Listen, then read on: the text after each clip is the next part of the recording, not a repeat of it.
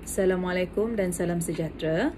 Hari ini uh, ialah kelas pertama Bahasa Melayu tahun 5 bersama dengan 5 matahari dan 5 utarit.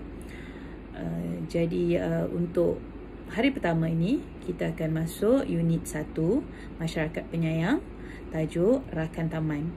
Okay, apabila sebut tentang Rakan Taman, automatik kita akan uh, ingat dan uh, tahu bahawa ia ada berkaitan dengan jiran, taman, taman perumahan. Okey, uh, jadi uh, untuk itu rakan taman yang ada dalam buku teks muka surat uh, pertama tu yang awal tu adalah berkaitan dengan persatuan. Satu persatuan. Rakan taman ni satu macam satu persatuan. Okey, dalam persatuan ni ahli-ahlinya adalah jiran-jiran yang duduk di kawasan itu, yang tinggal di kawasan itu.